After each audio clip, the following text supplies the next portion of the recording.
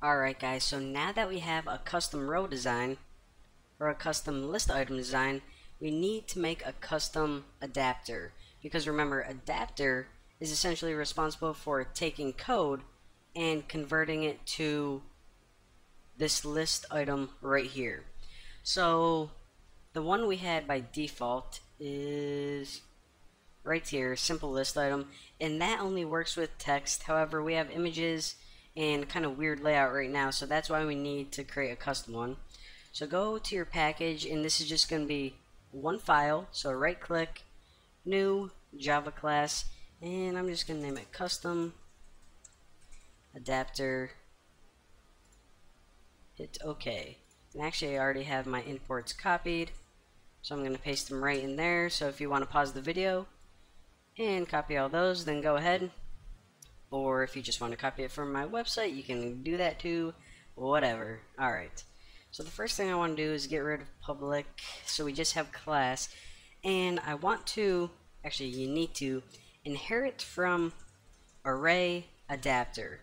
So this essentially says okay what we're creating here is an array adapter or an adapter to take an array and convert it to our own custom view. And let me arrange this Alright, so just like before,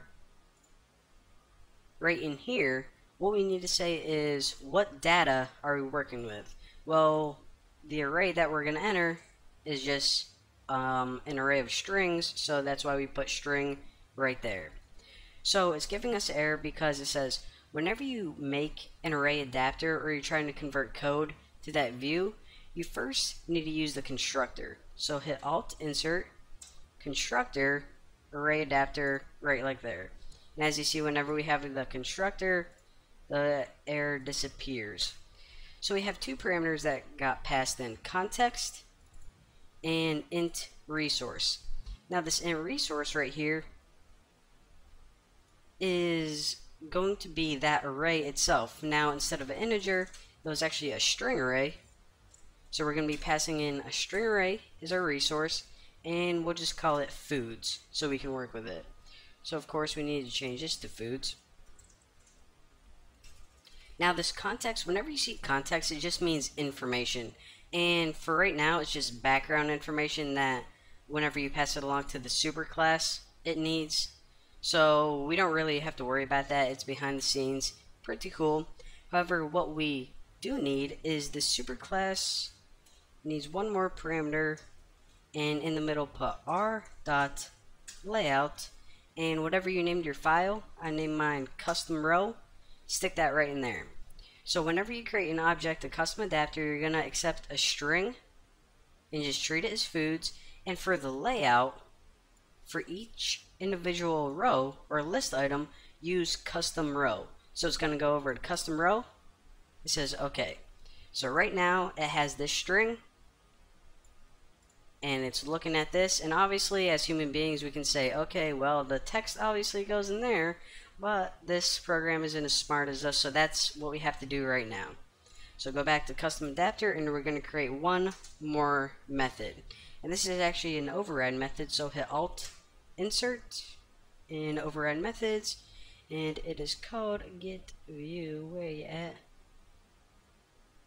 Did I just see it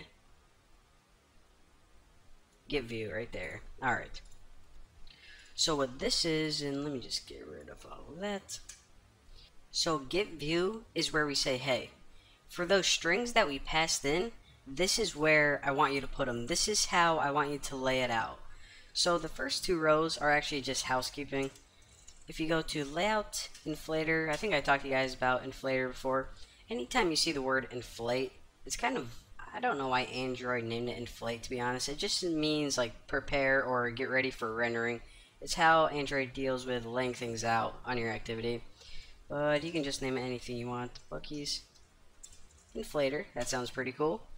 And just set this equal to layout inflator from get context. And by the way, context, I think I just said this, but anytime you see context, it just means background information. Boring stuff. Alright. Now the important part is this. View custom view and this is essentially going to be equal to one custom row. So, yeah, view, row, tomato, tomato. But if you set this equal to Bucky's inflator, inflate, r dot layout, custom row, or whatever you named your file right there, parent, and false, and that just has to deal with if you play anything to a parent, but we aren't worried about that.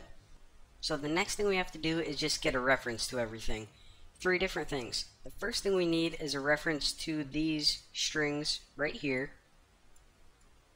The second thing we need is a reference to this text element, and the third thing is a reference to this. So to do that, it's pretty simple. The first thing I'm going to do is get single food item, and that's just something in my array. And in order to do that, just put get item position. Because these did I say these? This. Can't even talk today. Of course is the position of each item in your list and we saw that in the last tutorial. Well actually like three tutorials ago. Whatever. So now we just want to get a reference to that text element that we created last time of course that's a text view and our custom view, which is a reference to this file. Remember on here, what we can do is we can just call find view by ID r.id.bucky's text and do the same thing with image. So that was actually an image view, Bucky's image, and set this equal. Actually, I don't think I gave that image an ID.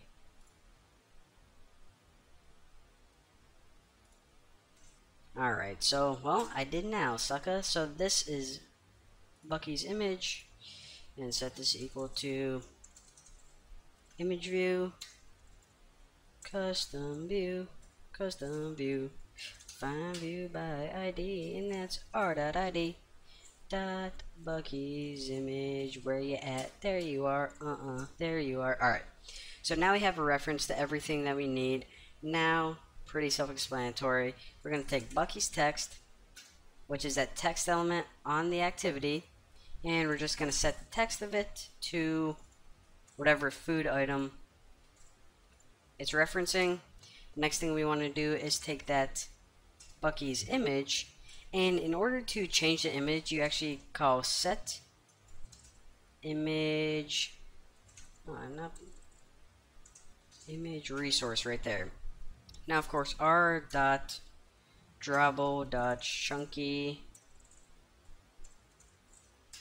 Alright, so again, what this is going to do is it's going to change the text dynamically to each one of these items. However, since I didn't feel like loading in a bunch of different images or sticking those in an array, um, I'm just calling the same one over and over again. So I'm just going to show my face over and over and over again. But uh, of course, later on whenever you make an actual app you would obviously want to change that unless you made an app and you just wanted to see my face a bunch of times which I don't blame you because I'm beautiful but the last thing we have to do here is just return custom view. So of course this which we just created the whole point of these tutorials is create a custom view so we have to return it. Essentially saying hey use that.